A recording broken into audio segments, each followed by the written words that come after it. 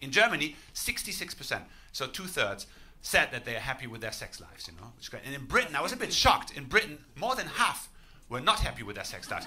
right. I was very shocked. 52% to be precise, and uh, that's exactly the percentage that voted for Brexit. So that's, I think we found the explanation, guys, you know.